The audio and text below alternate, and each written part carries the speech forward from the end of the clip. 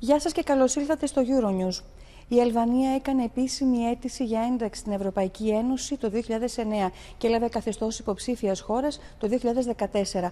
Από τότε παλεύει να ολοκληρώσει τις μεταρρυθμίσεις που είναι απαραίτητες για το ευρωπαϊκό κεκτημένο. Αν και η Ελλάδα υποστηρίζει διαχρονικά την ένταξη της Αλβανίας στην Ευρωπαϊκή Ένωση, η υπόθεση Μπελέρη έχει δημιουργήσει σύννεφα πάνω από τη σχέση της Αθήνας με τα τύρανα. Για όλα αυτά συζητούμε με την Υφυπουργό Εξωτερικών της Αλβανίας, Άρτεμις Μάλο, κατά τη διάρκεια της συζήτησης που διοργάνωσε οργάνωσε το ΕΛΙΑΜΕΠ για την ένταξη των Δυτικών Βαλκανίων. Ms. Artemis Malo, thank you for joining us here in uh, Euronews. According to the latest uh, report by the European Commission for Albania, the ongoing accession negotiation uh, process needs now to be translated to EU-related uh, reforms. Um, where are you now? Uh, have you made any progress and in which areas are you focusing? First of all, thank you for having me here and uh, giving me the opportunity to express our progress and our long years effort. Albania's government and all the team has been working consistently and rigorously during all the European process. An integration path has been a target and it's our aim for the future and the development of not only Albania but the region as a whole. Uh, there have been undertaken several reforms. I could mention all of them, but at least seven reforms are very important. And according to the roadmaps that we follow, the most important one is the law, is, is uh, the, the reform on the judicial system.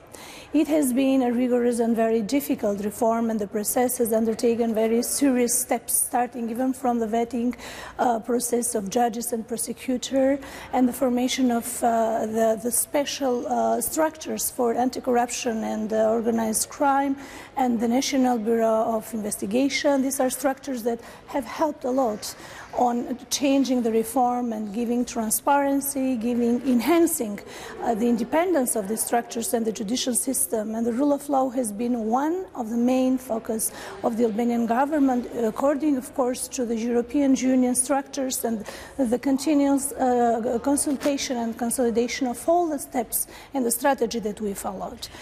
There is, of course, economic development, there is a development and the reform on uh, public administration. We have now a new ministry that is uh, specialized and is focused only on administra public administration and anti-corruption.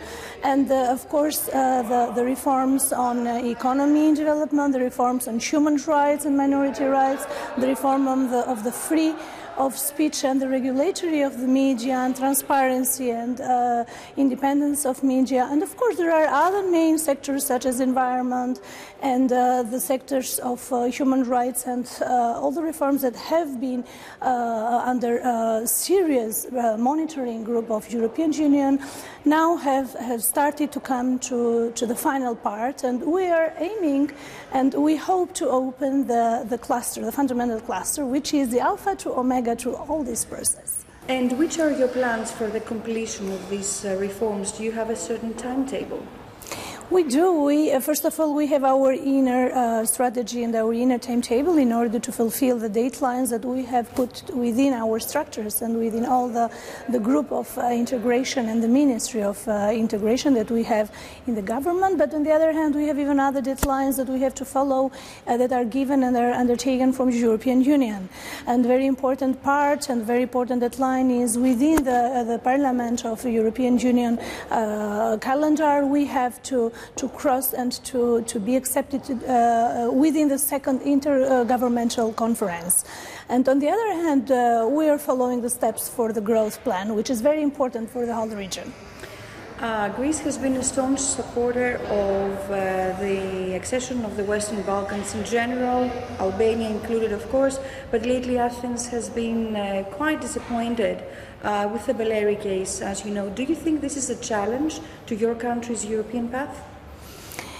First of all, let me uh, declare, uh, proudly declare, that I am a Greek minority myself, and uh, uh this is my second mandate as Deputy Minister of Foreign Affairs, and uh, I am uh, very proud that my origin is Greek, and on the other hand, according to my official position and the name of the government, we acknowledge the, the Greece support as government, and we're sure that our relations are going to be better and better in the coming years, but this this case that you mentioned is, in fact, a case of the legal system. It has nothing to do with government decision. And uh, um, I feel very sorry because uh, Ms., uh, Mr. Beleri is a, Greek minority, as I am as well. And uh, I, I, don't, uh, I don't know how to, uh, to support him, but this is a case of, of judicial responsibility, and I feel that it's more independently judged than in a general sense. I don't consider it as a national issue, not at all, because as I told you, we have so, so many things to, to advance and to further on progress, not only of Albania, but the whole region in, in connection and interconnectivity with Greece.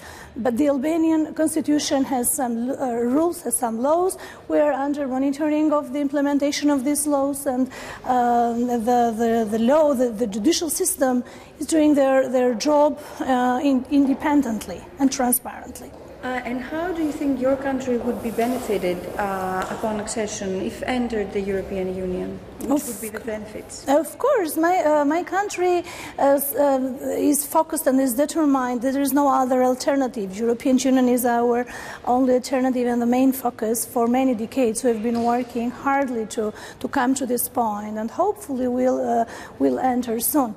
Uh, first of all, the most important thing is the economic development uh, Uh, within the Balkans because we have to start the enlargement of uh, the region uh, and next to, to be approach and uh, to be prone to, to European Union. And uh, this is also very important for security matters and strategic matters, the strategic plan and growth. If we are within the European Union, it's going to be more consolidated. And of course, European Union funds we're going to have more impact to the funds for our uh, development, for our projects in the future, and as a result, even for interconnectivity with uh, all the states of, of, the Balkans. And the geopolitical position of Albania is very important in this case because it's going to be the lead uh, country for all the other countries and as a key factor to social, economic, and political strategies. Good luck with your work and thank you very much for this discussion. Thank you. It's my pleasure.